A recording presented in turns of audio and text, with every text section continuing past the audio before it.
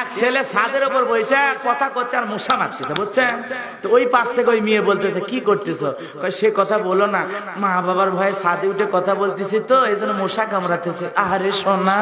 মশা কত রক্ত খাইলো তুমি কলেজে আসো কালকে আমি তোমাকে জুস খাওয়াবো